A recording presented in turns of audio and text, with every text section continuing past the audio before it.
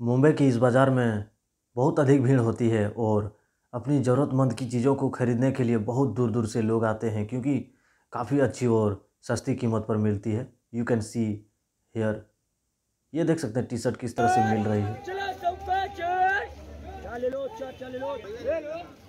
और काफ़ी खुशीपूर्वक लोग ख़रीदते हैं क्योंकि अच्छी क्वालिटी भी अच्छी होती है, जिस तरह दाम होती है क्वालिटी भी बिल्कुल अच्छी होती है और साइड में देख सकते हैं किस तरह से दुकानें हैं तरह तरह की दुकानें यहाँ पर अवेलेबल है।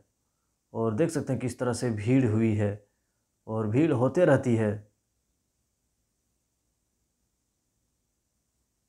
ये जितने भी गली है, गली के चारों तरफ़ दुकानें लगी हुई है और अच्छी अच्छी चीज़ यहाँ पर मिलती है, डिज़ाइनिंग वाली चीज़ मिलती है, मोबाइल की गैजेट्स वगैरह टी शर्ट बेल्ट तरह तरह की चीज़ें। ये आप देख सकते हैं मोबाइल की ईयरफोन्स बैग और बहुत ही खूबसूरत यहाँ पर चीज़ मिलती है। ठीक है take care thank you my dear friends